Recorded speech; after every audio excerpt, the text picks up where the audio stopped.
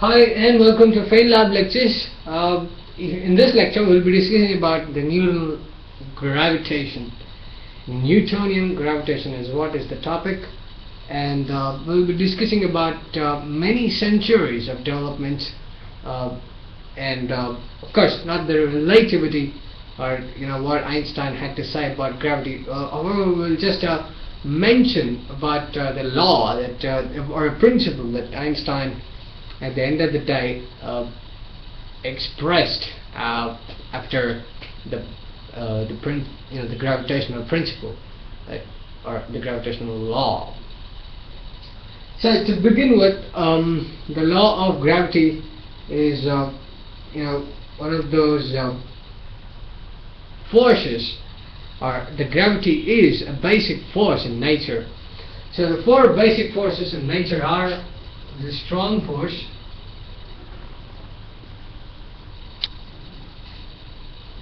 the weak electromagnetism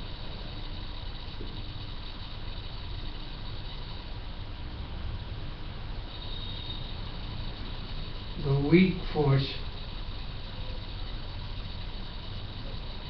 The gravitational force So the strong force is what that keeps the nucleus together. The electromagnetism is what that keeps uh, an atom stable. That means the electrons are revolving around the nucleus in definite orbits, maybe not definite orbits, but however they are moving around the nucleus. Atom is um, uh, stable. The weak force is present in radioactivity. The principle of radioactivity is uh, is because of the weak force. You know, the force itself is weak. I mean that. I mean it's a short range force in one sense. Both the weak force and the uh, strong force is very short. Uh, and gravity is the weakest of all the forces that, are, that tends to attract any two objects in the universe towards each other. So uh, this is uh, some of the basic introductions that in for the basic forces in nature. So we have four basic forces in nature as I have written. Okay, you might be wondering what this is. It's an apple actually uh, with an outer casing colored blue and uh, the inner casing colored green. It's a, a variety uh, of apple. You know, it's not an inner casing again. Uh, that's how it looks. You know. okay, so the apple was an inspiration to the gravity. Newton sitting in his uh, like he was resting under an apple tree in his estate and uh, well under an apple tree if you sit under an apple tree in an apple season you are bound to experience a, a falling apple so the same thing happened to Mr. Sir Isaac Newton in one sense not Mr. Isaac Newton Sir Isaac Newton then he questioned why and then was born the theory of gravity so gravity, since it's one of the basic forces and we understand gravity to a certain extent, it's called as the greatest generalization uh, that the human kind has ever achieved. So gravity is one of the basic forces in nature as I said and we understand it to a certain extent. We don't understand it completely, however we do understand it to a certain extent and, uh, and hence it is called as the greatest generalization achieved by a human mind. However, throughout this lecture I will not be interested but how brilliant we are to deduce such beautiful laws, how, uh, I mean all I am bothered about is how beautiful nature is, how elegant she is to follow simple principles that can be discovered by social animals as such as human beings. Okay? So, what is gravity in one sense is nothing but you know we shall not directly get into the the law of gravity. However I shall take you there after some time. But before that we shall go back to the times of Ptolemy.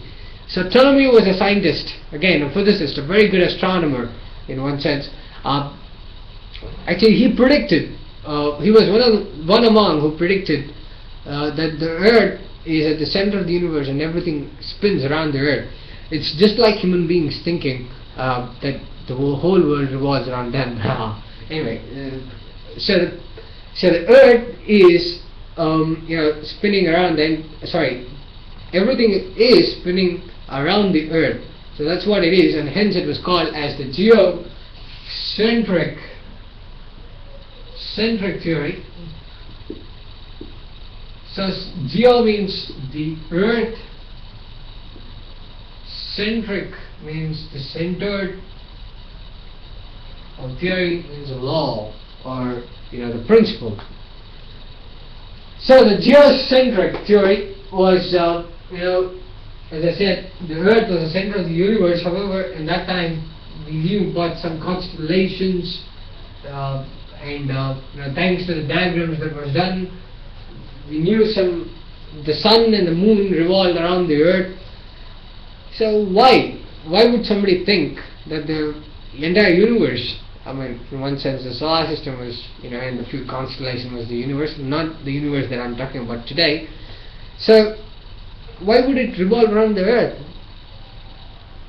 Well, it is because if I stand, as I said that day when I was in the foothills of Himalaya in my first lecture on the law of gravity, you know, I was, you know, standing there at night. I was doing observation, and uh, Venus was. Uh, uh, clearly visible uh, for me uh, fortunately and uh, I had my binoculars and I was watching it and well honestly speaking there was this um, well Jupiter after in, you know some time in the mid middle of the night and um, Orion uh, obviously so it looked beautiful and uh, well it was revolving from it was moving from west to east sorry, east to west.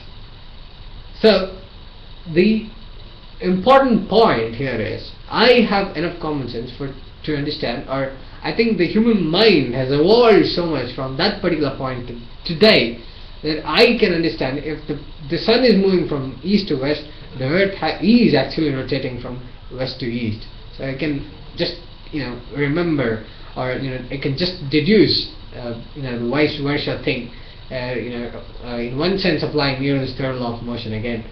Um, so, well, you know, when I was doing that, uh, I could see I, I had so many other objects in the in the sky, and uh, which I didn't know what it was.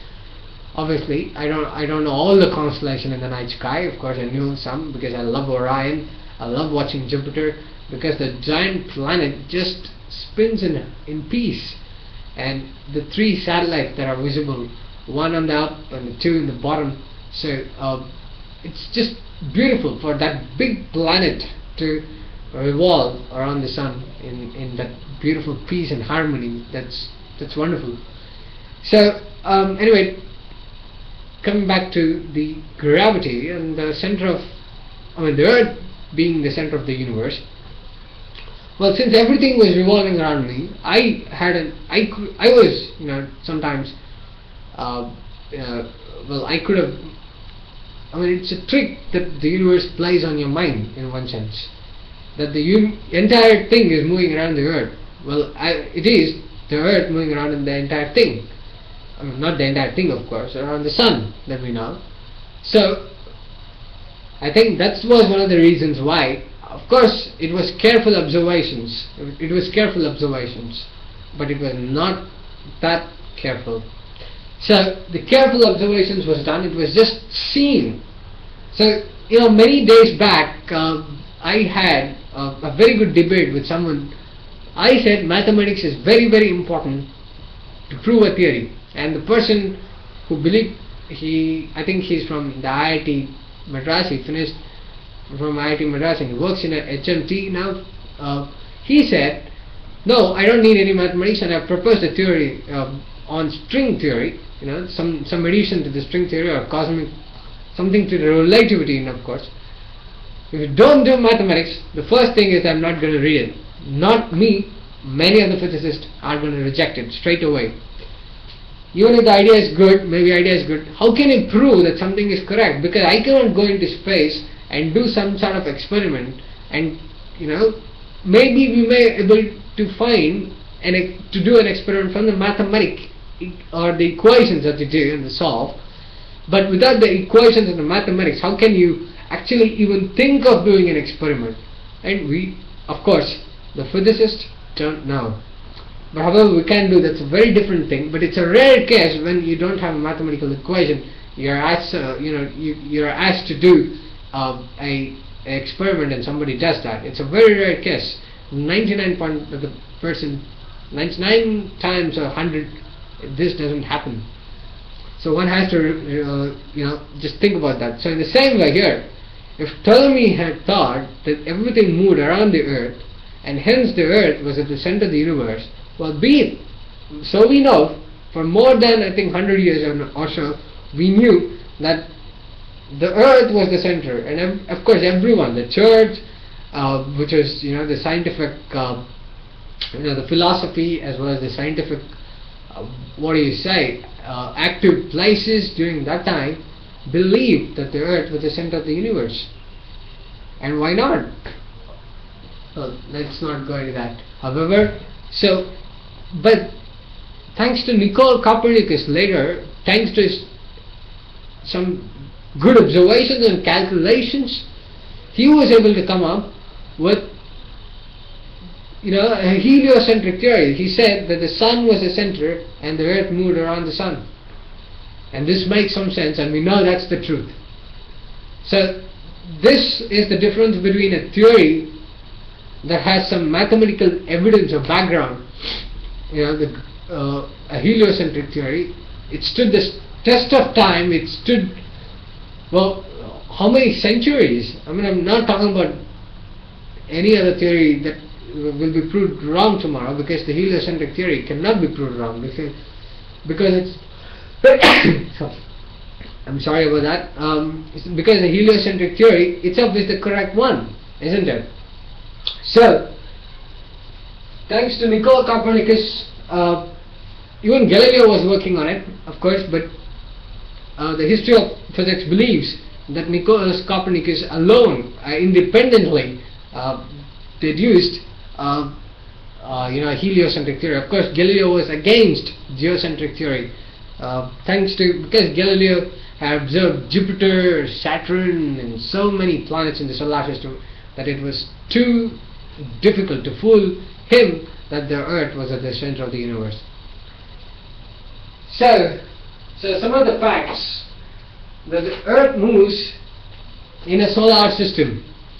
Well, the Sun is the center or you know the focus let's say not the center it's the focus you know we've got to be very scientific here so sun is at the center of, uh, sorry at the focus uh, and the planets are revolving around the sun in orbits we shall see the shape of the orbits and the motion the type of motion and uh, and so many other things the forces that exist between the planets and the suns and so on afterwards however um, now the galactic the entire solar system stretches up to about 9.3 trillion kilometers in space, I think, and that's called as the heliosphere. It stretches beyond Pluto, beyond Oort cloud or Oort cloud or whatever you pronounce it. It is W-R-T. So Oort cloud, that's what I say.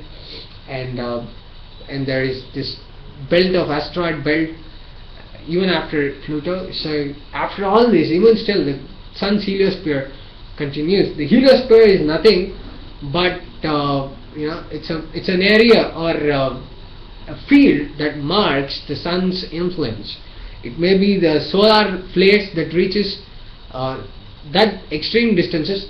It may be the sun's gravitational field that is you know still present. Of course, it will get weaker obviously as we move. Uh, thanks to the Newton's uh, formula again. Uh, so, but it will get weaker. But however, the gravity is still present, right?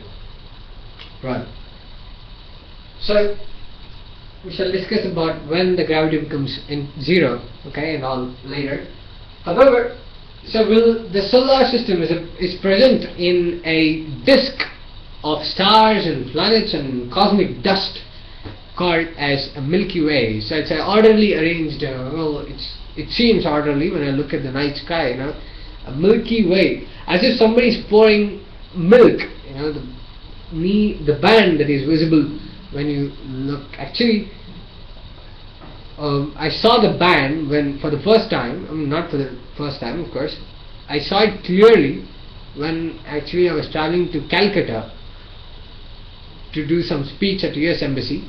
So then uh, after Andhra Pradesh, I think we crossed into or, or Odisha and uh, so in Odisha after Bhubaneswar uh, there was a you know a place where nothing was there you know it was literally coastal area and uh, it was dark pitch dark and the train was moving fast.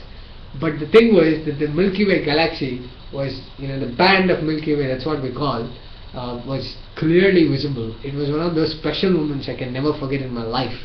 So um, however it looks as if somebody is pouring milk uh, in the night sky hence it was named as Milky Way so um, uh, Milky Way, we are at the edge of the Milky Way and uh, at a distance of about uh, 2.6 into 10 power 9 light years. Our Milky Way galaxy is very big. It's very very big. However, there are more bigger galaxies like uh, the M74 I believe is bigger, like uh, about a billion times bigger than the Sun. Or, the Milky Way galaxy itself, so many times bigger than the Milky Way galaxy. So, um, However, again, the Milky Way galaxy is also a part of the cluster of galaxies called the supercluster. And the supercluster of the ga galaxy revolute around a common center of mass or center point called as the Great Attractor. And the Great Attractor is about 3 into 10 power 8 light years from Earth. So it's at the other end of the Milky Way galaxy, right? Right. So this is the apple, we'll come back to it later. But now, the next development was the force of gravity, of course Newton. Newton questioned it and hence he got an answer that this is the sun and this is the, know, the, you know, let's go for the earth and uh, the apple system first. We've always taken the, you know, in the previous lectures when we did the energy, we took the gravitational potential energy, we considered the particle earth system, right? So in the same way here we considered the earth and the and the apple system. Right. I'm writing this, I mean it looks really really bad, you know. It is because you know the gravitational well uh, Newton's law of gravity can be applied when the distances are enormous and uh, compared to the distances the radius of the objects that you consider has to be you know, it has to be small or a fraction compared to uh, the big distances look there is gravitational force between me and the pen. I'm actually attracting the pen, but it is so weak that nothing happens to the pen. Well, we say nothing happens to the pen. The earth is attracting the pen, so if I drop the pen, it directly goes towards the ground. But I'm not going to do that. But you know it does.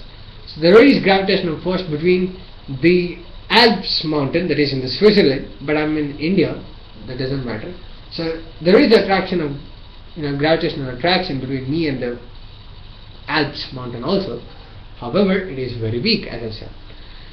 So we're not going to talk much about that. So the gravity at the end of the day is the weakest force and the proof is all over you, all around you and all over you. So you don't have to um, go running to some place on the earth to find find uh, the know, that the gravity is a weak force. So Okay, so this is, okay. So this is the horizon, the point is the horizon.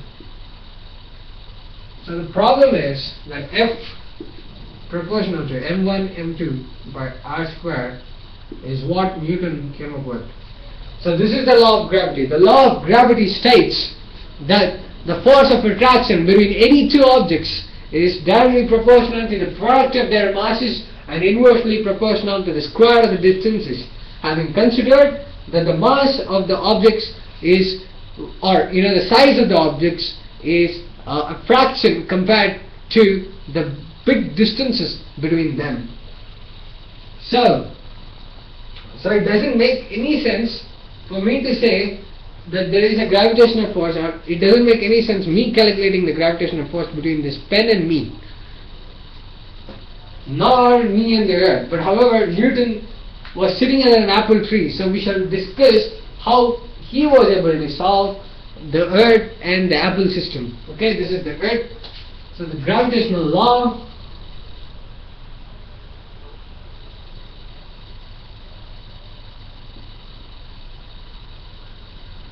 for the earth, apple system. That's what we're going to discuss now. So the apple, uh, you, I mean, you can treat the apple as a system, you know, because it's very small compared to that of the earth, mass of the earth. But however, you cannot treat apple alone as a system because it's part of the earth right? Right. So what Newton did was he was very clever. You know, Newton was very clever. He's also a genius. Before Einstein, he came up with a theorem, and the theorem was called as the shell theorem. Okay, the shell theorem stated a uniform spherical shell of matter attracts the particle that is outside the shell as if all the mass were shell's mass, all the shell's mass was concentrated at the center of the shell. So that means that the mass of the earth is concentrated here at the center of the earth, of course, you know, that means the shell. So all I'm trying to do is I'm trying to calculate the gravitational force between the apple and the, the center of the earth rather than the entire earth itself or the shell itself. So what I'm going to do is I'm going to erase all. And now if I can calculate, I apply Newton's laws, uh, you know the radius of the earth, and uh, I, hope you can calculate the depth of the earth, you know, depth to the radius, or the center of the earth, sorry, by using the radius, and you put the answer, the apple is, uh, is attracted towards the center of the earth at the force of 0.8 newtons. And we know that the apple accelerates towards the earth at 9.8 meter per second squared and that is the value of g and that was discovered by Galileo. Right? Right. So it is minus 9.8 meter per second squared again remember.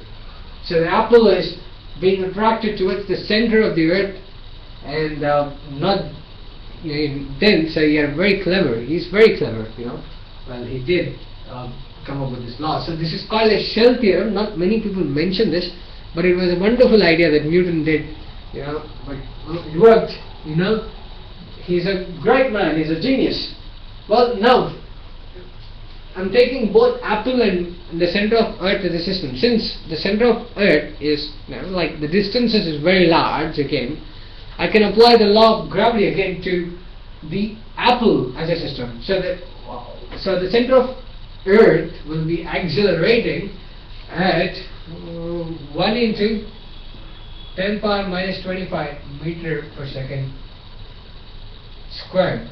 So that will be the acceleration due to the gravity of the apple and it is of course towards the center or, you know we will not talk about the center of the apple but of course towards the apple so so this is what Newton calculated. So it's not just about the inspirations that inspire you to do the laws, it's also very important that you find out the way to solve the inspiration itself. So this is an example. So shell theorem plays a prominent role. It's a it's a prominent assumption that Newton made, you know, when he said then a uniform spherical shell of matter attracts a particle when it's outside the shell as if the shell's mass were to be concentrated at, at its center. Right? So we saw Newton's dream. Actually Newton himself did. So it's very important you, that you solve your dreams.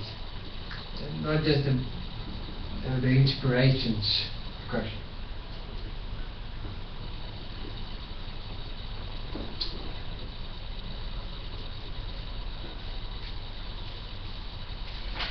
So, um, now, uh, before getting into the mathematical bits, we shall enjoy some of the, you know, the mischievous uh, ideas that were produced in uh, in between. Okay. So, um, well, uh, everybody knows uh, this is the center of the you know sun. The Earth moves around the sun.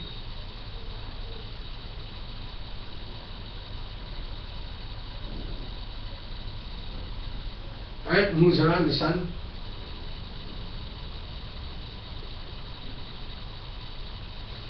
In a circle. Okay, I know some physics. It doesn't move in a circle. I know, I know. But a third grade student or a first grade student would be taught in this way, you know, by telling that the earth moves around the sun in circles and the entire solar system is nothing but the big circles that you draw, uh, you know, uh, concentric circles with increasing radii. So that's how you do. You know, that's a bigger solar system. So the sun itself is also a big circle at the center. So you keep on drawing these, uh, you know, circles and circles and circles and circles. So after nine, ten circles, I still, I still remember one of the biggest circles. I used to do the big circle sun, and then you know I used to do uh, you know nine more circles or concentric circles with increasing radii. So uh, well, you know that was a hopeless thing to do. I hated it, and of course. Uh, it's a wrong way to teach physics, but ho however, in the beginning, that that was the you know idea that, that the people had. So the Earth uh, is somewhere here, and it comes here after some point. Yeah, the Earth is here. Look, even though it looks big here, just imagine that it's a point. Okay? Okay. So we knew, again, we know how things move in straight lines. Yeah? The motion in one dimension.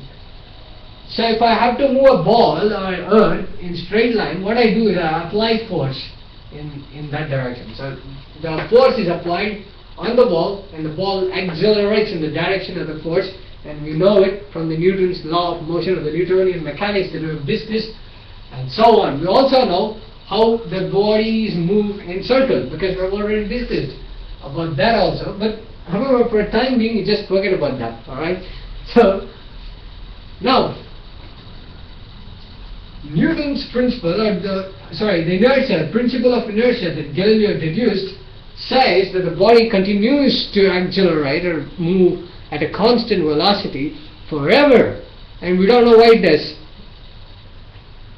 but it does. So that's the principle of inertia. So the principle of inertia, if you apply to this, the Earth can move in a straight line.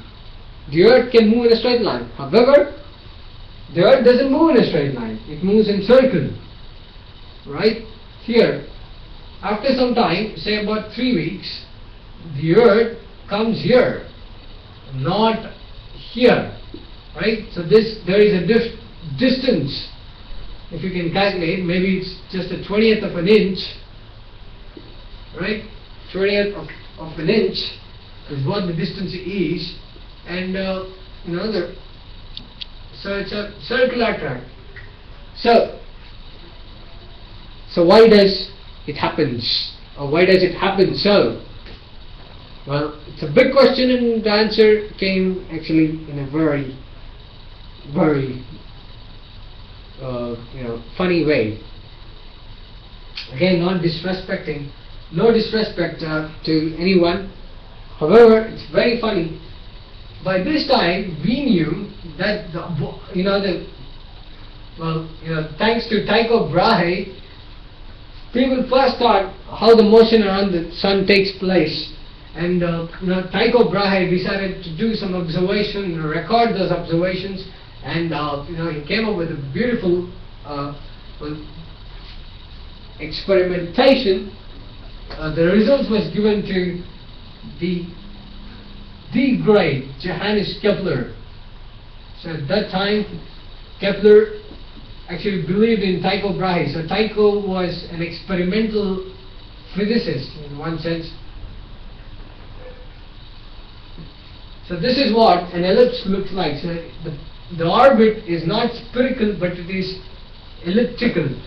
Right? So um, it's just like an egg. Eggy. So instead of circles we have replaced it with eggs. So here you know, the egg, the earth moves around a bit elliptical, you know, in a sense. So again, the same problem. The you know the uh, you know the orbit was solved. The shape of the orbit was solved thanks to Tycho Brahe. Tycho was a rich man. He owned an island near Copenhagen, and uh, he went to the island. He fitted the island with brass caps with respect to the position of the of the planets, and uh, well, he discovered that the you know the planet Mars or Mercury uh, Mars I believe was off by 8 minutes. That means it's not a circle. So it was off by 8 minutes.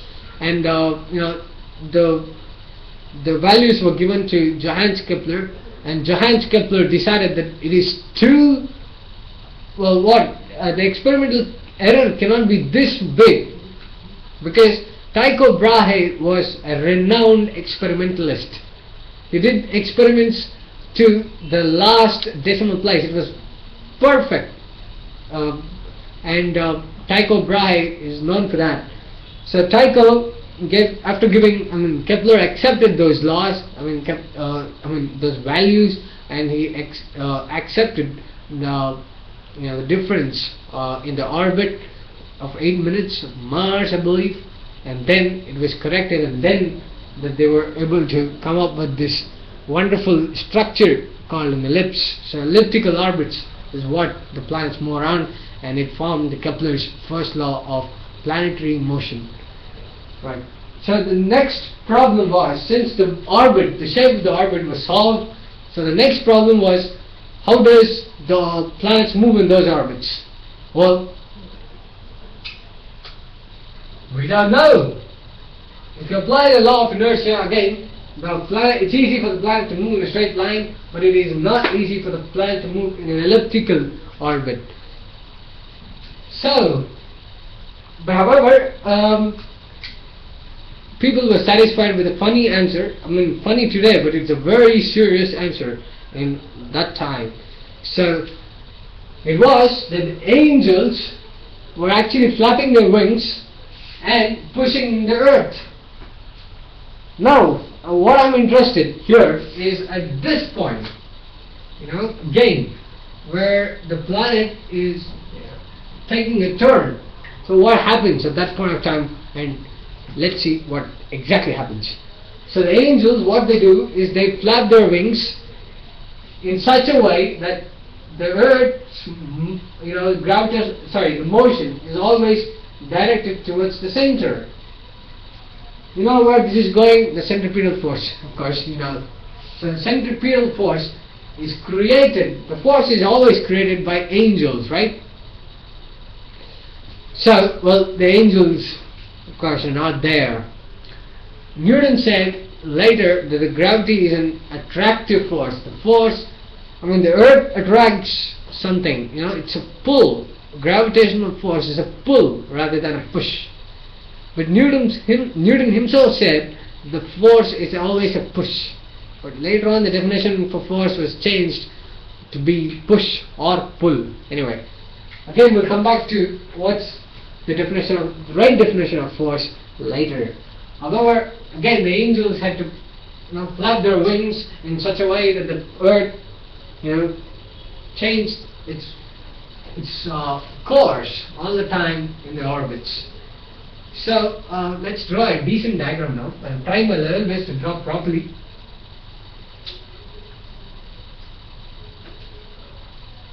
Well, of course, maybe we shall do it later when we come back to the Kepler's planetary motion. Um, now, uh, since we have discussed about uh, the Newton's shell theorem as well as Newton's law of gravity, I would like to mention here something else before we move on. F, the gravitational force is a vector. Uh, G, capital G is the universal gravitational constant it is constant throughout the universe and it was confirmed by Albert Einstein. And many people do, you know, uh, discuss that it may be wrong, but you are very, very, well, you are very, very wrong if you say that the value of g is not constant in the universe because the satellites launched by NASA has con you know, confirmed the value of g and it was discovered for the first time accidentally while finding out the density of the earth by Henry Cavendish. Most of the time this great man Henry Cavendish, uh, a shy figure in, in, in, the field of physics, uh, is, is never complimented for his discovery at all. That's a very sad thing. When people, teachers teach, uh, even at the highest level, they just tend to forget that it was Mr. Henry Cavendish who came up with this beautiful experiment. It's a very difficult experiment to perform. He had to find out the gravitational force between two, uh, you know, you know, rings, uh, and uh, which is suspended by using a quartz wire. So uh, it's a very difficult experiment. It was a very difficult experiment to perform, and he had to be precise, just like Tycho Brahe, uh, to to get the right answers. However, if you move on so this, so Newton didn't find the capital G. It was found out by Henry Cavendish in 1946 or something. So it was, I mean, actually this actually discovered by Einstein rather than, I mean, the discovery of capital G by Henry Cavendish was discovered by Einstein, later confirmed by Michelson-Marley experiment or Michelson-Marley experiment, whichever you want to pronounce. So Newton all he gave was F was proportional to m1 m2 by r squared was the Newtonian gravitational theory. However, it is called as the greatest generalization ever achieved by human beings because it is famous. Secondly, it is the first time that we understood something about the basic force in nature. Okay? And we understand it, as I said, to a great level, but not completely. So the next uh, thing that we'll head on to is the superposition of gravitational force. Of course, superposition also applies of uh, I mean to the gravitational force, right? So superposition, if you remember, F net that I mean a single force that has the same effect of all the forces that are acting on the system when the vector sum of all the forces acting on the system. So F1 plus uh, F2 plus F3 plus plus Fn. So this is the superposition of forces That's how you define the superposition of forces. So the gravitational force is found by dividing the object into small parts because you know, the gravitational force is always found between big bodies, not the small bodies, some gigantic bodies bigger, many times bigger than the uh, Earth sometimes. However, Earth is also very big, you know, the radius is very big. So the gravitational force, uh, you know, the, the superposition of gravitational force is found by dividing the object into smaller parts, small enough to treat as a particle, and then by using the formula that has been written here, the superposition of forces, uh, you find the vector sum of all the particles I mean the force of the particles uh, and then you get the superposition of the gravitational force. So here actually it is the g force of the individual particles that you are finding out of a, a body. Okay? So in limiting cases, and that means in some exceptional cases, what, you, what one can do is is actually we can divide the extended object into differential parts each of mass dm just like we did when it when in center of mass. So the force uh, well you know the gravitational force on mass dm the differential mass is df right? So then actually individual force is uh, well, F1 here, it's not the net force, is nothing but integral df right? So this gives integral of df gives the individual gravitational force exerted by a particle of mass differential mass dm. It can only be applied in exceptional cases, not all the cases, but you'll be better with the first case and uh, nothing is complicated about the first case of course. The second is however pretty complicated. If the body is an extended object, it's an extended object once it's like a well let's say um, a network of uh, international space stations that extends from uh, like uh, the star you know from Earth to Jupiter then you know what you can do is you can um, actually break down I mean you're not literally breaking down but of course you can divide the masses such that you can uh, you know measure or you can treat some part of sta uh, space station as uh, dm and the force is force by that mass as df later on find uh, you know df for it by the formula integral of df. So you get the force and you add up all the vectorial I mean all the forces vectorially then you get a net or the resulting force and the resulting force is a superposition of gravitational force.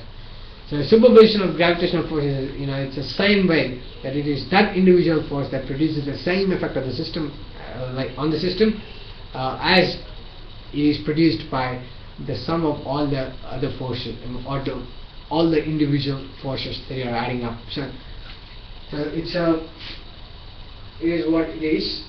So the in the formula that we just wrote f1 here is the integral of df. The integral is taken over entire extended object and we drop the subscript net.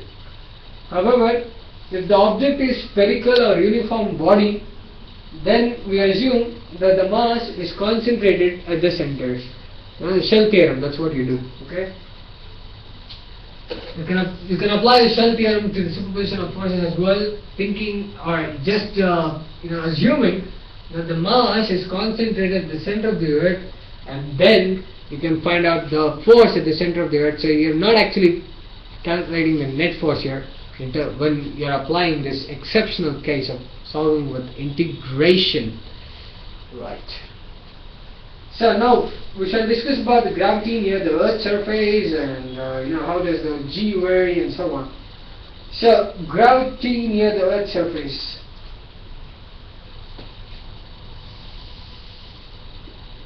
So gravitational force near the surface of the Earth.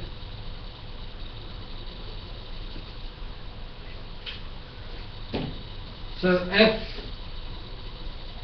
is equal to G mass of the earth capital M small earth I mean small m indicates the mass of a particle or something. So r squared is the radius or the distance between the object. So this is what the Newton's law uh, Newton's law of gravity says. And again take F is equal to ma ma you equate both. In this case ma is is g here, ag because the acceleration is due to gravity, so ma is equal to g m m by r squared. So mm cancels, then you're left with uh, ag, here a, this is the ag, is equal to g m by r squared. So here, if you want to find out g, the acceleration due to gravity what you've got to do is to multiply the universal gravitational constant. Universal gravitational constant is 6.67 into 10 power minus 11 Newton meter square per kg squared. So this times the mass of the earth divided by the distance or the radius of the earth squared. So you get the ag or the acceleration due to gravity.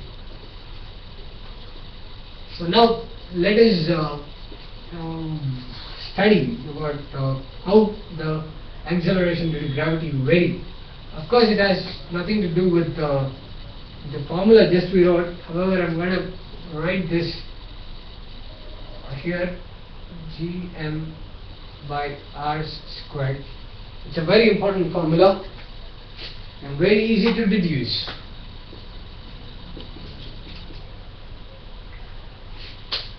Okay, so G is uh, well almost constant over the Earth's surface. Uh, the value of G actually here is uh, about 9.78 meter per second squared.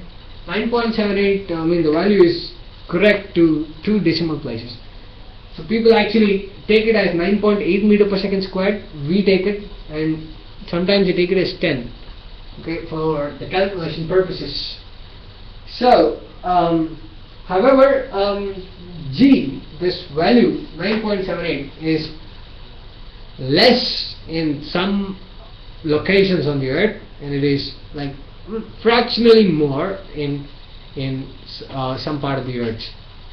Well, it is because of three reasons. The first reason is that the Earth's mass is not uniform. So the Earth's mass is not uniformly distributed right? So uh, the crust, the Earth's crust is uh, well um, not uniform, um, and uh, the thickness of the density varies, and, and also the minerals, the concentration of the minerals also varies, and so on. So all these, because of this, the general, let's say, uniformity of mass is well, it's not uniform anyway. So some is. The second is that the earth is not a perfect sphere, it's an ellipsoid. People say geoid, you know, it's an ellipsoid. It is stretched at the equators and it is like, uh, what, what do you say? It's, a, it's, a, it's flat near the poles. So it is stretched near the equators and it's flat near the poles. So it's ellipsoid. And uh, also, the third important point is that the earth rotates. Because of this also, there is this problem. Alright? So, um, G actually increases when you travel from the equator to either either of the poles because at the poles you are more closer towards the center of the earth right because as I said the shape of the earth is, you know because of the shape of the earth the poles are flattened that means the poles are actually closer to the core than the outstretched equators right? So uh, hence the G actually is more at poles rather than at the equators and the second point uh, that I made that uh, you know the rotation of the earth uh, we shall solve a, a pro problem because because of the rotation of the earth you get some kind of a force on all the objects on the earth. It's called as a centripetal force right? If you are on a rotating body obviously you are moving in circular direction. Unless you are at at the poles you are moving in a circular direction right? With some radius and at some angular speed that is equal to that of the earth. So we shall solve a, a problem which I have done honest, know, to just prove about this. Right, so what I'm going to imagine here is uh, this is the earth.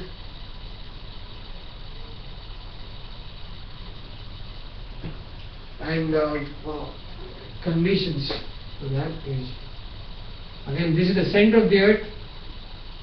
This is a basket or something that is being put on the earth. Uh, and um, because uh, the, basket is you know the mass of the basket is so low I'm, I'm going to treat it as a system and since the earth is rotating the basket moves in a, a circular path and this is the r the radius or you know this will be the radius one sense again. It's the same circle so again, applying the shell theorem, you should know that. So here again, for the box, or you know, box. So here, the weight of the box is mg. The normal force acting, uh, you know, to keep the box on the earth is Fn. So there is a balance of these forces, but however, the gravitational, I mean there is an acceleration in this direction, right? The box is accelerating in a in an anti-clockwise direction here. So the acceleration A indicates the acceleration due to the circular motion, the rotation of the Earth. So now Fn minus mg is equal to m times this acceleration, uh, A. So mag minus mg is equal to m omega squared r. Uh, r is the radius. If you recall, acceleration is omega squared r is nothing but v squared by r, the centripetal acceleration. Okay, so that's the same. So the acceleration is this. So m is equal to ag minus g is equal to m times omega squared r. So m and m cancels. So ag is equal to g minus omega squared r. Okay, so this is a very important result. Okay, so free fall acceleration is equal to the gravitational acceleration. This is the free fall, or this is the free fall acceleration. You can interchange it. The, the value remains the same. I'm just going to interchange the two here, ag. So the free fall acceleration is equal to the gravitational acceleration ag minus the centripetal acceleration omega squared r. So g is equal to ag minus ac. Right? This is the centripetal acceleration. That is, I mean, the term that we've used to represent the centripetal acceleration ac. So uh, the g minus ag is equal to ac. Right? Okay, so I hope you have understood this. So that means that the free fall acceleration is equal to the acceleration due to gravity minus the centripetal acceleration created due to the um, well rotation of the earth right? So, that means that because of the centripetal acceleration here g is equal to a ag minus omega squared r. Because of this term here the g value which is 9.8 meter per second squared is not exactly 9.8 meter per second squared isn't it? So the g value is actually decreasing because of the centripetal acceleration of the earth due to its rotation.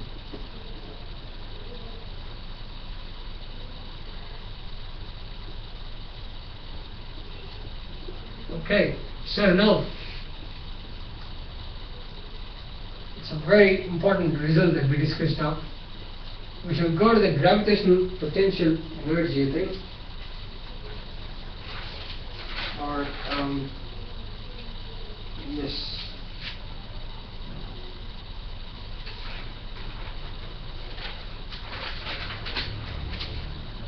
Yeah, one more important thing that uh, I wanted to discuss was the the uh, the gravity inside the earth. Well, as per Newton's shell theorem, a uniform shell made up of matter or shell of matter exerts no net gravitational force, no net gravitational force on a particle or object that is inside the shell. So uh, basically at the center of the earth the gravitational force is zero. That doesn't mean that there is no gravitational force. It means that there are gravitational forces but they are balanced. Okay? That's what it means. So the statement doesn't mean that the gravitational forces on the particles from various elements of the shell, that means the various elements of the earth, the iron and uh, you know the so elements uh, zero, but the net force is just zero. Okay, so that's what we I mean it means. So there were many people discussing that uh, the gravitational force at the center of the earth is zero if you cannot do anything as such as you know the gravitation, uh, you know, if you don't know or if you cannot think about all these kind of things at that particular point of time, when you say that the center at the center of the gravity, the gravitational force is zero, just think about the greatest generalizational uh, law that we have discovered as human beings. Now, F proportional to m1 m2 by r squared. If r is zero, so what do you get? Or if the force is zero, what do you, what should ha- what it should be? So these kind of questions, if you are a very good mathematician, you would put some values to the F, I mean the force, and then you will the gravitational force, and you would decide what exactly is happening at the point. So the gravitational force at the center of the Earth is zero. The net force is zero. Okay. Okay. So the next is the gravitational potential energy. As I said, we've discovered, I mean, discussed about the gravitational potential energy in the previous uh, lectures itself when we did energy and the conservation. So the gravitational potential energy is uh, energy stored because based on the position of the uh, body above the Earth's surface under the influence of the Earth's gravitational force. So that is what is the gravitational potential energy. So as we um, well, the gravitational potential energy is uh, actually decreases when the distance between the particle and the Earth decreases. Well, with the height it increases. So a stone uh, falling from a height of uh, 40 meters will have more impact on you. If it falls on your head, you are more likely to die so than a stone falling from a height of 10 meters. That means that with the increase of height, you know, if you're placing a stone at a height of 40 meters, then at that particular point of time, the potential, the gravitational potential energy is very high, and by the time it comes down under the action of Earth's gravitational force, the potential energy is being converted into enormous kinetic energy, and the enormous kinetic energy, when it hits the brain, the brain shatters into pieces and then you are left with no choice but to die. But however, if it's 10 meters, you might as well survive with a scratch on your head. So that's the way it is. So the real experiences, the real life experiences, um, you know, is what we are studying in physics. That that is the importance of physics, actually, to be honest. So the gravitational potential energy can be uh, given by the formula minus g m m by r. So this is uh, the formula for the gravitational potential energy. So when is the gravitational potential energy zero? It is zero when r is infinity, right? So at infinite distance, actually at distance more than infinity, the gravitational potential energy becomes zero. So again, both the things are not possible uh, for the gravitational potential energy to be zero and uh, you know the, for us to reach a distance of about infinity. Uh, that's I mean like and gravitational potential energy is always negative and uh, with the increase in distance uh, the negativity also increases okay okay I think that's what we had about gravitational potential energy and uh, gravitational potential energy again then it is negative and it the negativity increases with the increase in distance. Again it has to be a finite distance right? So what if the system contains I mean the, the formula that I wrote here u is equal to minus g capital M M by R is for a two particle system. Okay for a two particle system. What if there are more than two particles? Then u well let's uh, say um, for a system of uh, of P of P the U is minus of G M1 M2 by R12 plus G M1 M3 by R13 plus G M2 M3 by I23. So, so this is the formula. We, I mean, you can expand it, you can extend it to an, uh, any number of of uh, bodies um, or particles. So U is equal to minus G M1 M2 by R12 plus G M1 M3 by R13 plus G M2 M3 by R23. Here, uh, important thing is that if it is the masses are like this M1 here, M2 here, M3 here, somewhere here. So this is R13. So this is R23. This is R12. Okay, this is R12. So the distances are to be taken in this way. So distance between one particle and particle 2, there is the distance between particle 1 and particle 3, and there is the distance of the just the unit vector, the line connect line extending from particle 2 to particle 3. So in, in serious physics or uh, in standard physics, it's a it's just the the value of the um, well the vector is connecting the you know, the position vectors or, or, or the distance between the two vectors. So it's not a vector at all at the end of the day, right? Anyway, so distance is, is what you need to calculate. You have to be accurate, and so you can calculate the gravitational potential energies of of the various uh, particles in the system. So again, defining the system becomes very important, and identifying what has to be taken is also very very important. That one has to take care while solving the problem. Now, Again, coming back to the same formula, U is equal to minus g m m by R squared. R, gravitational potential energy is nothing but the work done by the gravitational force. So this is also very important when we discuss the gravitational potential energy. Is also uh, the work done by the gravitational force on the two particle system. Right? This is what it is.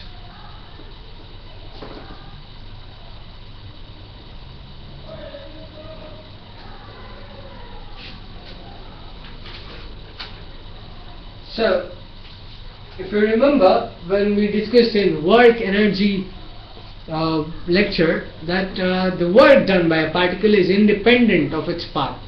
Since the gravitational potential energy is also uh, a conservative uh, energy. It's a con it's a I mean the gravitational force is a conservative force. Hence, the gravitational potential energy is also conserved in the system. Hence, it is also path independent. So it is very important that the work done by the gravitational force is again path independent.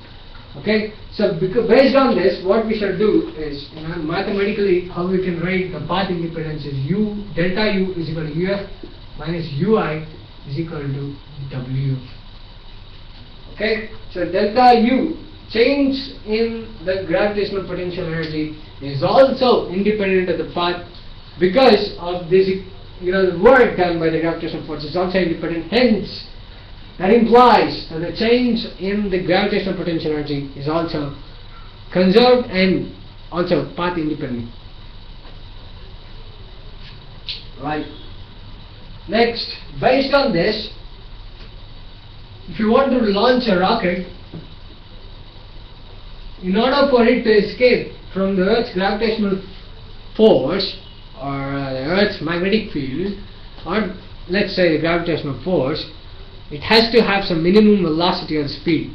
It is called as escape speed. So escape speed I'm calling it as escape speed but most of the people write it as escape velocity it is because the escape speed, it doesn't matter in uh, depend on the direction of the projectile. You know, you may launch it on any direction you want. It doesn't depend on the direction. Hence, it is speed rather than velocity. So we know that u is equal to minus g m m by r, and the total mechanical energy of the system is conserved. That means that K kinetic energy plus gravitational potential energy, even in this case, is zero. Right? K plus is zero. That means again you put the equation uh, that implies half mv squared minus uh, again minus g m m by r. You solve for v, you get 2 gm by r. So 2 gm by r 2 gm by r is the escape speed of a projectile. So it's the minimum speed. It's not the maximum speed. It gives you the minimum speed with which the projectile has to be launched in order to escape the Earth's influence or you know into the space. Okay. So the Earth's influence again. Um, we shall talk about what happens when and where and stuff like that. But right now this is how it is. So the escape speed u is equal to minus g mm by r and k plus u that is nothing but the sum of kinetic and mechanical uh, sorry sum of kinetic and the gravitational potential energy gives you the me total mechanical energy of the mechanical energy of the system. The mechanical energy of the system is conserved, hence the difference zero.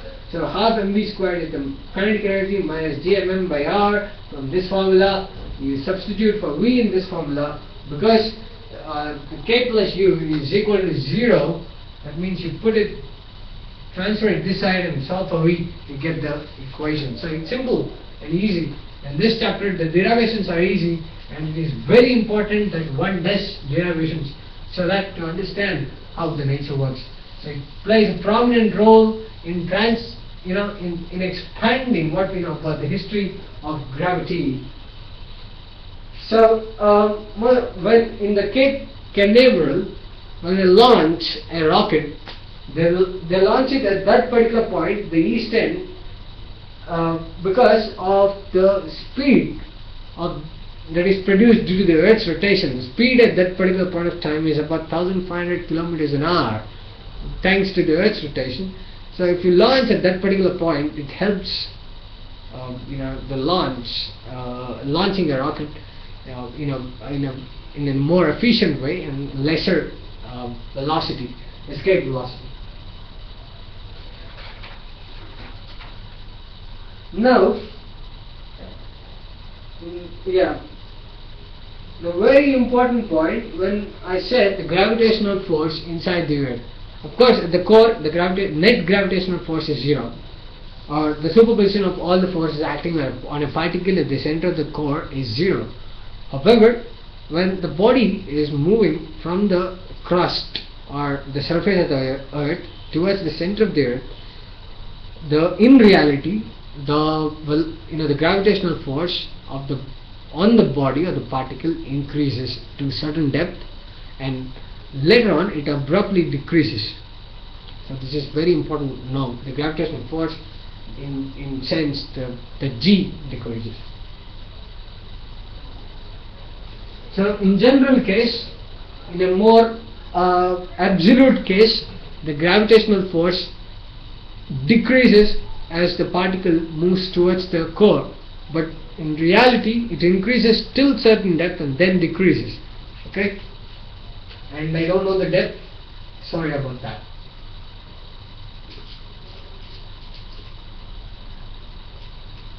So that means that when people go For them, for those who are working in mines, the elevators they use to get down to the surface of the earth at certain particular points, they, the thing is that they are experiencing more gravitational force on them and the, the acceleration due to gravity is more, I mean, fractionally more, not like too much. So, um, so this has to be understood in a very sense, pretty, I mean, like deep sense. And uh, while coming back in the lift, that means that the lift has to exert exert more force to pull them back up to the surface. And again, they're experiencing more gravitational force than they were experiencing at the surface of the earth. So, um,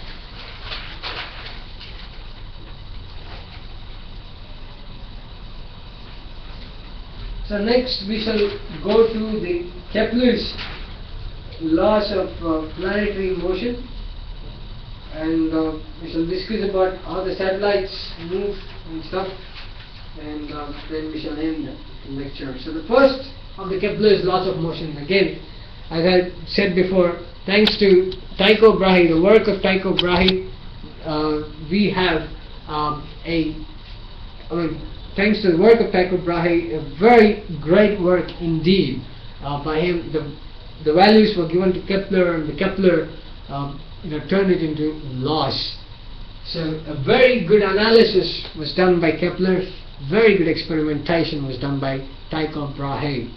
So the Kepler's laws of motion says that the planets move around the sun in ellipses, okay, almost like this, with the sun at the focus, and the sun is not at the center. When you write the diagram, it's all it's wrong if you write it there. Say the Earth is somewhere here, and, and, and let's draw a line here, and uh, this uh, focuses two foci I'm going to draw this is the center um, so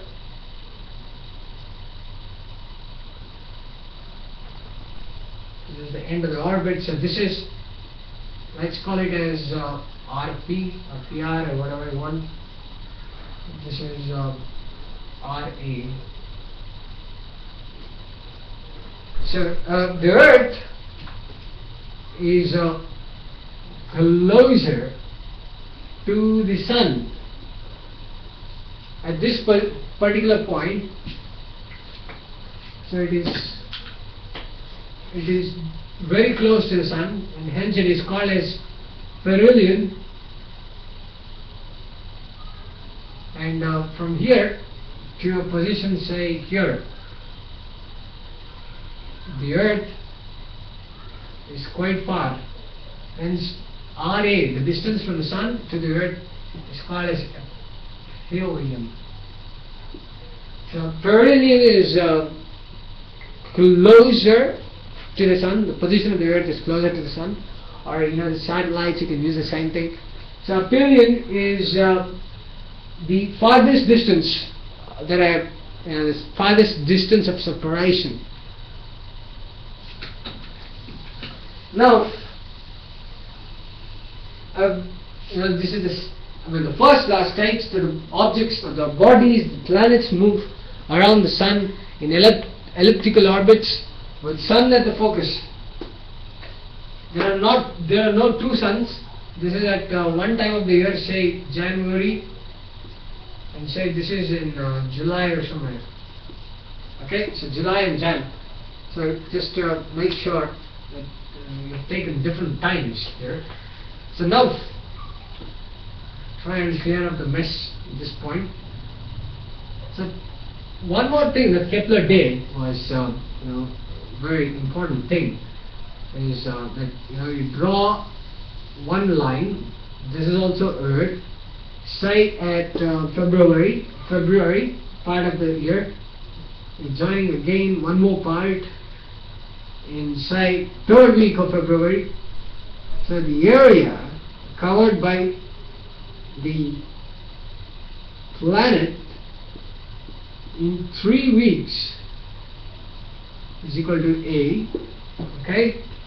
Again, in the same instant, you have one planet here. Again, in, this is July, so this should be somewhere around uh, August. So let's say this is okay July last week. So this is August second week, fourth week of July. So the area again here covered by the planet at both the instances is A. That means the area covered by a planet in its orbit. So the area covered is always constant if you measure the area with the same time intervals. So time t, t must be sine, okay, t is sine. So the second law can be stated like the, the line that connects a planet to the sun sweeps equal areas in the plane of planet's orbit in equal intervals of time and that is dA by dP know, mathematically is zero. Sorry constant.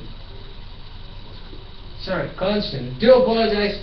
It's a constant that means that dA by dt is a constant value and uh, the, the planet sweeps up equal areas in equal intervals of time. Right? Right so dA by dt can be calculated with uh, L by 2m so dA by dt and calculating the formula. So L by 2m L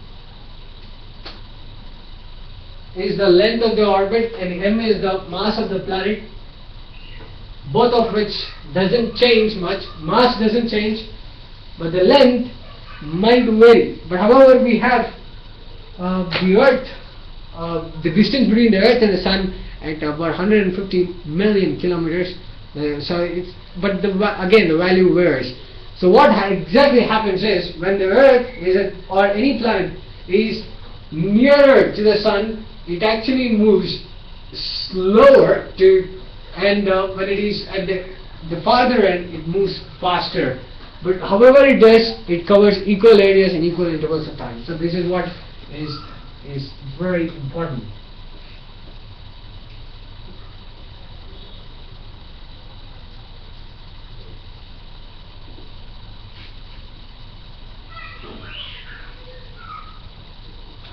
Right. So the final law of Kepler's planetary motion. So Kepler's planetary motion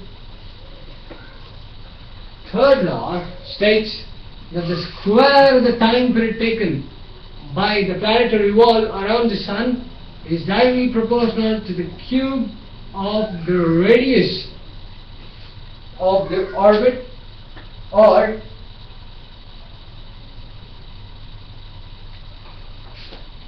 Right. The square of the time period taken by the uh, you know planet to rotate, revolute around the sun is directly proportional to the cube of the radius of the orbit. So um, it can be calculated with uh, the formula 4 pi square by gm. Um, again, we're going to actually solve this some point at some point of the time in the coming lectures. Uh, right now, cannot derive this, alright?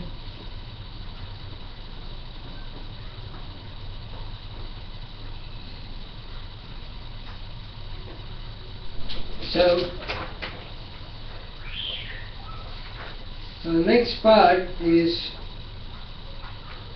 is what you know that um, even after the law was given by Kepler, it was still believed that the angels were were behind the planets, pushing the planet in their masses. The square of the period of time is proportional to the cube of the semi-major axis of its orbit.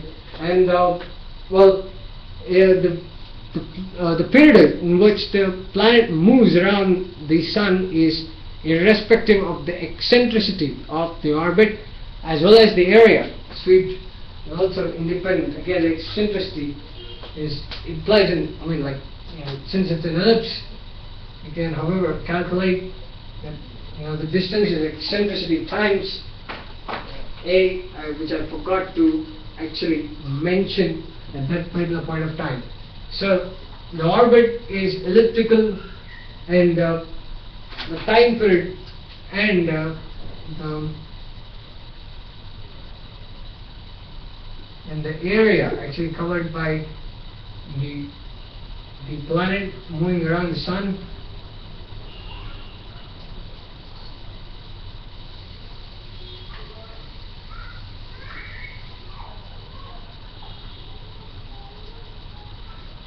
So you take an average of the distance as I said before. So the time period is t squared proportional to the cube r cube whereas the the square of the period of any planet is proportional to the cube of the semi-major axis of and this is the center. So the cube of the semi-major axis is the cube of the area. Uh, you know, the time period taken for the body to travel from T1 to T2 is nothing but the cube of this area, the semi-major axis of an ellipse or the orbit. So that's how you take. So again, uh, great discovery by Johannes Kepler um, and a great work by Tycho Brahe. Now to the satellites. So, when a satellite orbits the Earth, well, what path does it take? Well, it does take elliptical path. Path, sorry. Um, even for the Plutos, the Uranus, the Neptunes, the Jupiters, the Mars, the Venus, the Earth, all follow Kepler's. I mean, every planet in the solar system, every other planet in the almost. I mean, I think it is. I mean, like they believe it is universally applicable. So, but however, let's now just be sure, mean, because we're sure about the solar system, so the Kepler's planetary laws can be applied to the solar system and is in perfect accordance with the solar system. So now the satellites again, the satellites also orbit around the Earth in elliptical orbits. So both its speeds, uh, which fixes the kinetic energy, and the distance from the center of the Earth fixes its potential, gravitational potential energy. Of course, the satellites does have gravitational potential energy, but they do fluctuate periodically because, as I said, there is the aphelion and the perihelion, uh, even for the satellites when they orbit. So the orbit is not like the, the, the Earth is at the perfect focus or the center of the ellipse. So the focus are you know, like they change, and hence even the gravitational potential energy as well as the kinetic energy fluctuate over a period of time. So we know that u is equal to minus g m m by r. In order to find ke, what have you got to do? Okay, g m m by r squared because the total mechanical energy is conserved v squared. What is equal to? So K can be taken as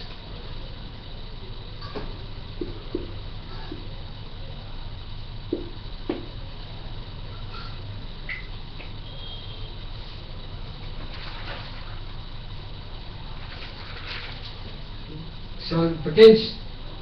So it is the relationship between the K and the U is Is equal to G M by 2R. There is nothing but U by 2. Right? So, kinetic energy for a satellite revolving around the Earth in orbit is two times the potential energy, the gravitational potential energy of the satellite. So here you have to remember that the GPE, the gravitational potential energy, is due to, it is based on the distance of the satellite from the center of the earth and the, kinetic energy depends on the orbital velocity of the, the orbital speed of the satellite. Because the orbital velocity would yield zero. Because you know velocity is a vector remember?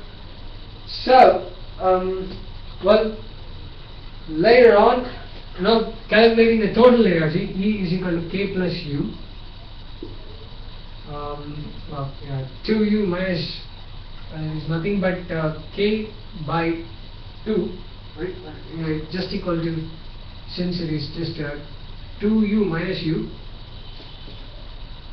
2u plus 2k so k equals to k however is is minus g m m by 2 or minus gmm by 2r minus gmm by 2r for circular orbit total mechanical energy circular orbit. For total mechanical energy is minus gmm by 2r it is nothing but minus u by 2 in one so anyway um, or it is just equal to that of minus k. So negative of the kinetic energy is what?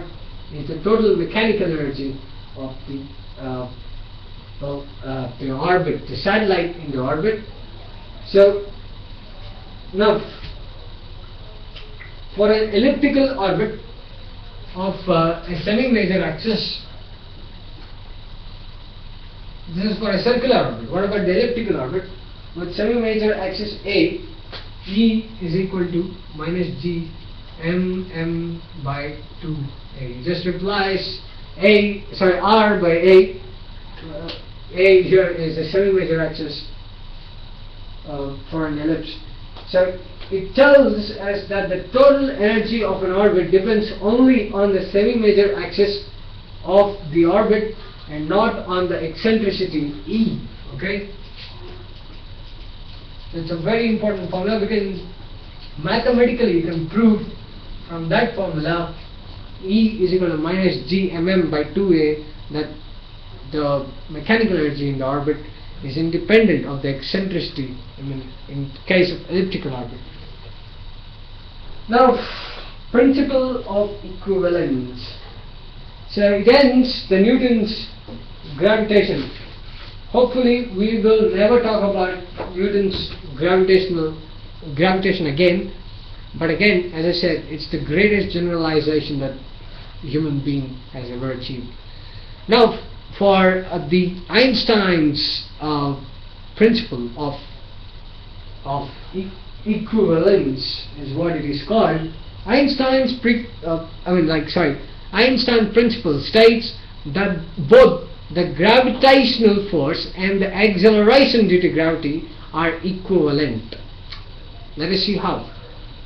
Say, you, a man, I'm so sorry to write it in this way, is standing on the earth where, of course, he is at rest, but there is acceleration, I mean, the gravitational force acting on him, and the acceleration due to gravity for him will be 9.8 meter per second squared. So this is one frame. Now, let me take a non-inertial frame wherein the frame itself is accelerating in any direction but uh, since the man will be standing in this particular way so it's accelerating downwards and since the person is in a different inertial in a non-inertial frame in a different frame of reference then it's inertial here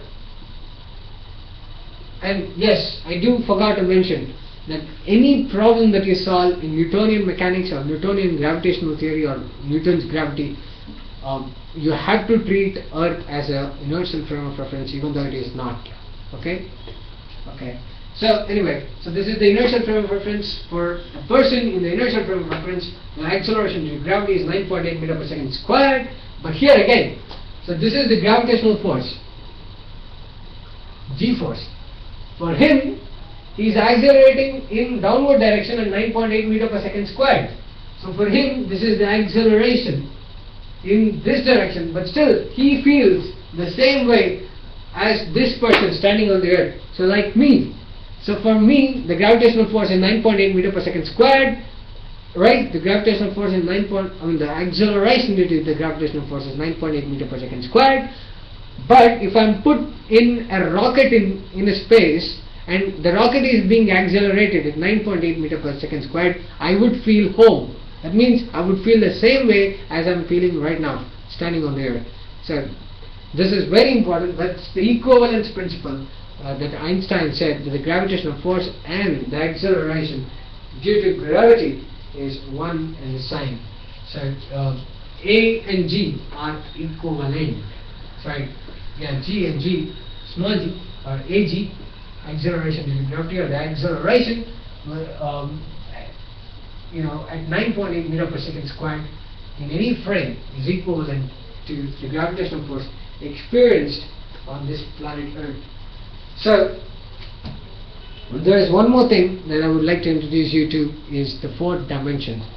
Well, Newton's law of gravity is well, it explains everything in one sense. Uh, it explains that you know well quantitatively how you can find out uh, the gravitational force um, and uh, how you can find actually the um, well uh, amount of force acting between the two masses and um, how the force varies and everything can be calculated from Newton's law but it doesn't explain or it fails to explain the correct way why gravity is an attractive force. Well, why can't it be repulsive force? Well, when the same question was asked to Newton, he had no answer. So, for that this question to be answered, uh, actually, what Newton did was he actually guessed that the force is not just uh, a not just push, but it is also pull. So, well, it didn't work out for Albert Einstein. But however, Albert Einstein, well, when we when we shall do a separate lecture talking about Albert Einstein, he was not sure because Newton was his role model as he grew up. So, uh, well, anyway, so for Albert Einstein, the gravity was a very different force altogether. So, the very sun here, a big ball of fire is what we define sun as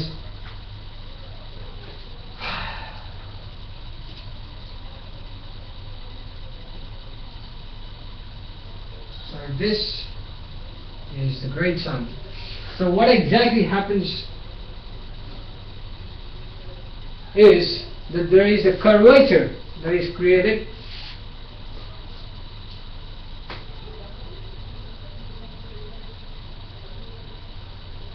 in the fabric of space because of this huge mass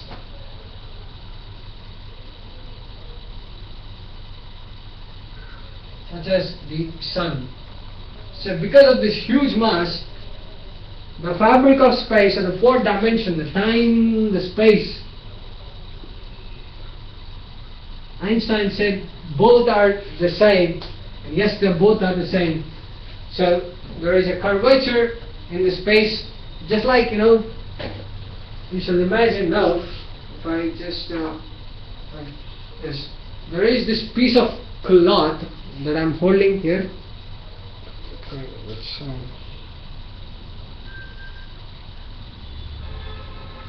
So if I place something on this piece of cloth, there is a curvature in this piece of cloth because of this mass, my fist is the mass and there is curvature because of the fist and it creates a depression in the space fabric the same way it is created here.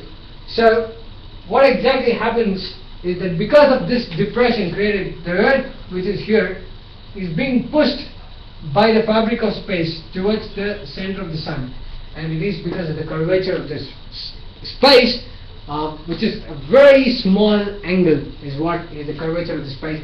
The earth is being pushed towards the center of the sun. And this is why the gravity is still pushed and force is still pushed. It's never pulled. Nobody is pulling anything. It's the entire space fabric that is pushing on everything in this universe. Right? So sp space fabric is what is responsible for the gravitational force. Right?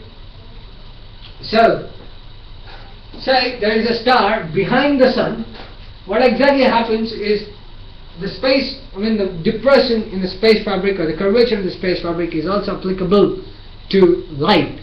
So light also bends. So if there is a star behind the sun, you know, the green color one, so the light from this star, what exactly happens is that it gets bent around the sun for an observer who is seeing the light of the star get bent around a huge mass such as sun.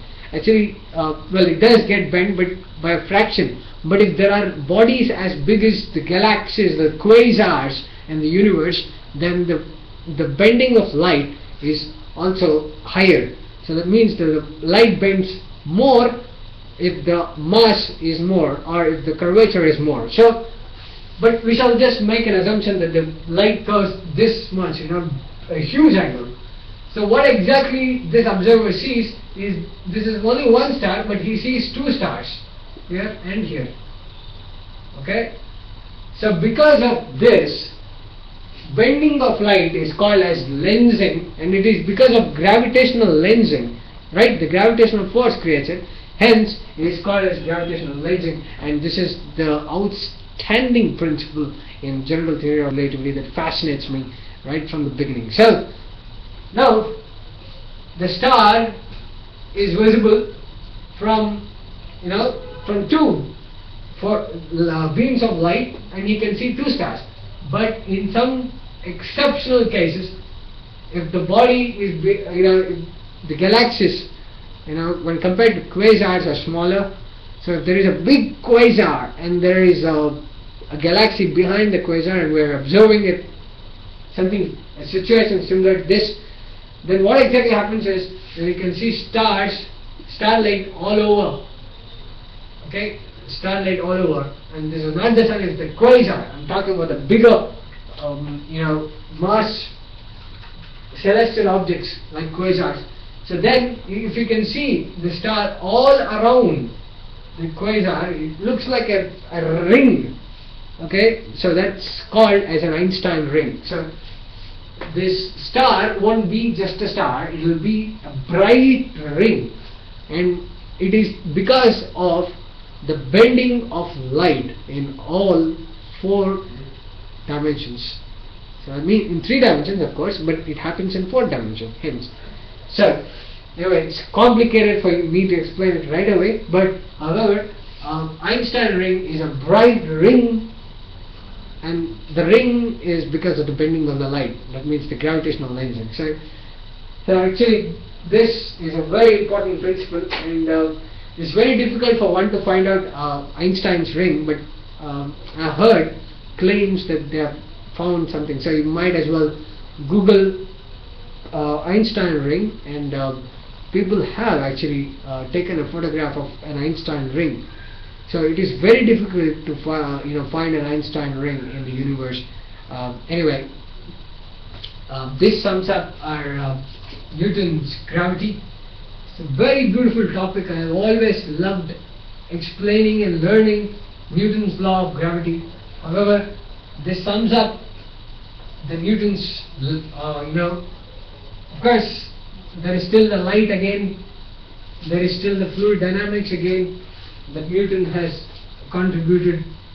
Uh, so we shall get back to that later. Uh, for now, it's goodbye from me, and uh, thank you for for watching and I hope you keep spreading science and uh, in the general, I mean the special theory of relativity we shall discuss about uh, this gravitational lensing and to calculate how you know the gravitational lensing based on the masses and how it depends on the masses in detail. Uh, now for now it's goodbye from me.